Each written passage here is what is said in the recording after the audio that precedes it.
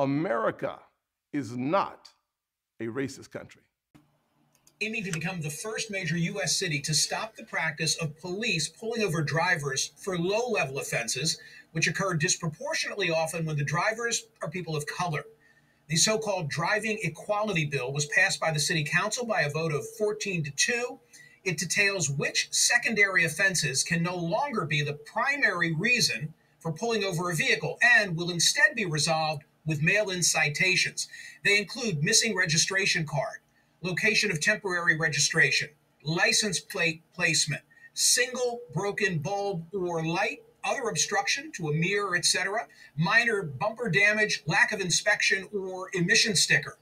The legislation comes in the wake of several national cases of high profile deaths of black drivers following such routine traffic stops. Think Sandra Bland in Texas, or Daunte Wright in Minnesota, Walter Scott in South Carolina. In Philadelphia, the statistics are eye opening. The population is 42% black, but according to police statistics analyzed by the Defender Association of Philadelphia, 72% of the drivers pulled over are black. Compared to whites, black drivers are 5.2 times as likely to be pulled over, Native American drivers 5.7 times, Latino drivers 1.6 times. While 94% of the drivers whose vehicles are searched were people of color, searches of white people's stopped vehicles were actually more likely to turn up contraband.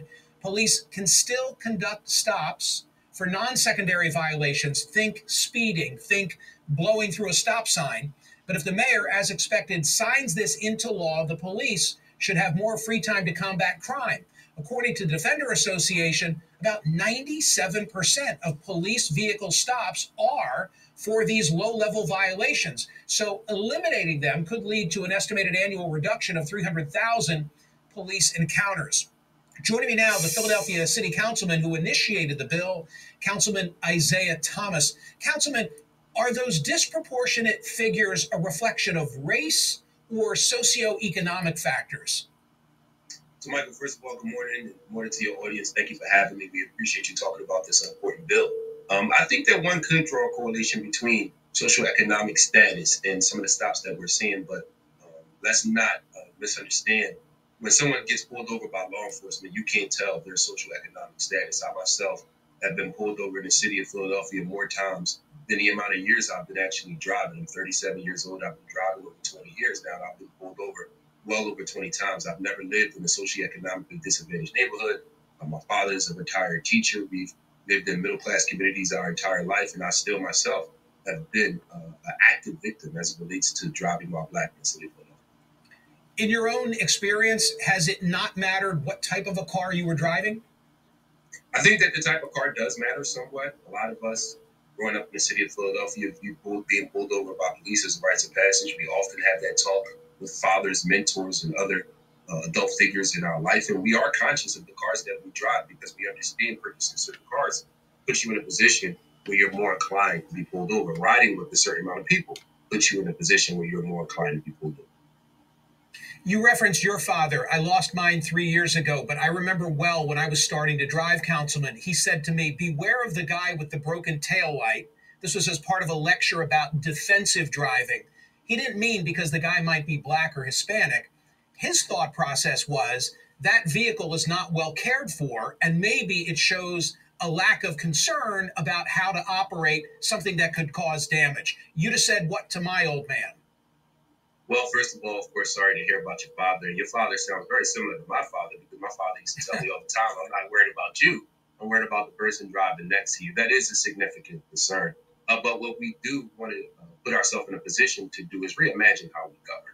Some of those same things that your father, as well as my father, are concerned about as it relates to the next driver, we still feel like we can have some uh, level of enforcement as it relates to motor vehicle code violations. We have a number of different methods that we want to use to be able to enforce minor traffic violations. And most importantly, we want to put law enforcement in a position where they can spend uh, more time focusing on more serious crimes. Here in the city of Philadelphia, we ask law enforcement to do a lot and we feel like this bill is a step in the right direction, not just to improve relationships between communities of color and law enforcement, but also to put us in a position where law enforcement can focus more time on more serious crime.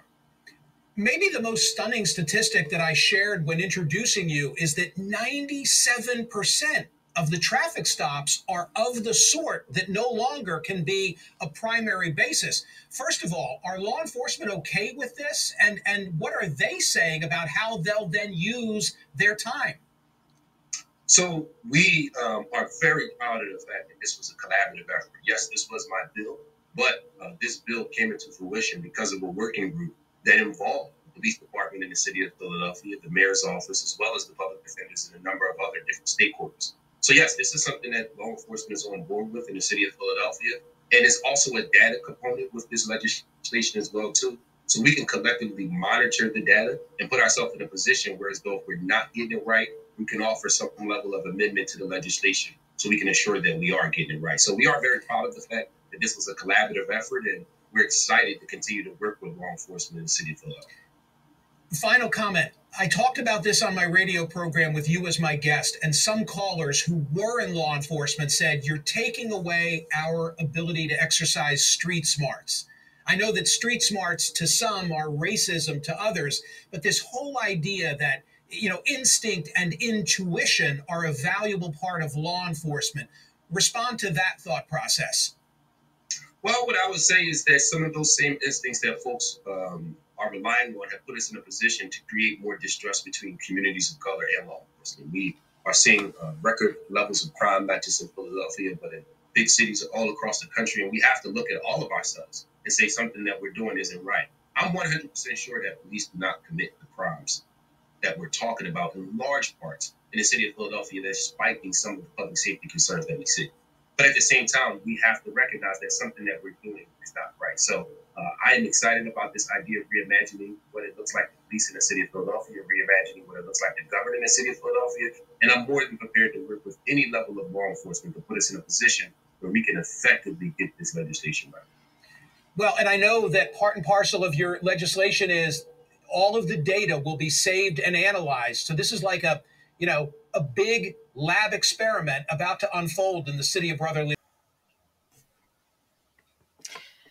As you heard in the video, Philadelphia is the first state to do away with low level traffic stops.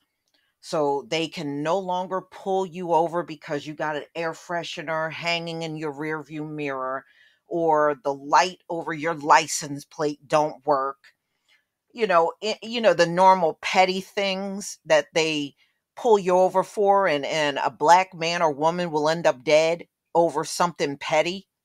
Well they can't do that in Philly anymore. So we'll see how many other states will adopt this. They may just do it ladies and gentlemen not because they're trying to take it easy on us but many of these states on their police force are having a worker shortage. And if you remember, I did one on Austin. Like certain phone calls, they won't even accept on 911. You got to call a whole different number, and the police will decide whether it's important enough to show up or not. You're going to see more of that as we move into 2022. If you don't have the manpower, you're not going to be going on all of these calls. And let's face it, Philly is suffering from a police shortage just like the rest of the country. And that's one thing he didn't talk about, but they definitely have this going on. So, this legislation that, you know, uh, Isaiah Thomas was talking about will go into effect this week in the city of Philadelphia. They'll be become they will be the first major US city to ban police from stopping drivers for low-level traffic violations. Because when they did a study in the city, and they, they're finding the same thing they find all over the country, it was overwhelmingly black drivers that were being pulled over at the most highest rate. Again, that just proves over policing. That's what it proves. So the bill is called Driving Equality Bill, and it passed in the legislation 14 to 2 by the city council, and the bill passed on October 14th. So it now categorizes certain motor vehicle code violations as primary violations, which allow people to pull folks over in the name of public safety, and secondary violations that don't meet the criteria of law, uh, traffic, lawful traffic stop.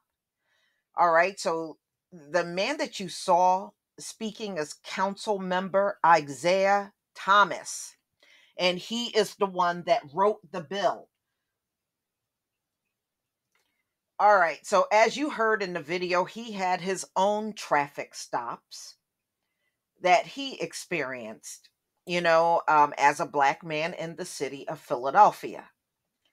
So, I mean, it is a good thing because look,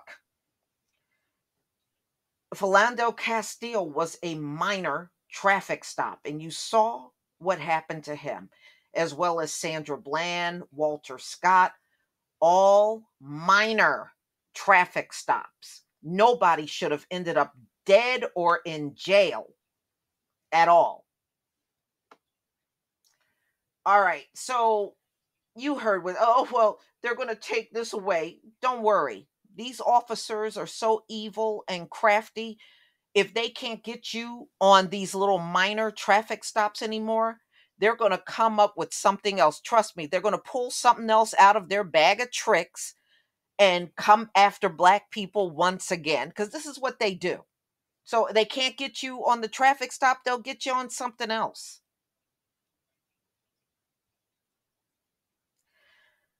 So, y'all, please tell me what you think about this bill that will go into effect in Philadelphia. No more minor traffic stops. Cops can't use that as an excuse to stop um, the majority of the black men and women behind the wheel. As you saw, 72% of the time black men and women are pulled over in the city of Philadelphia. Well, that will be no more for minor traffic violations. Please leave your comment and subscribe. Don't forget to hit on the notification bell, and I'll see you on the next video. Peace, family.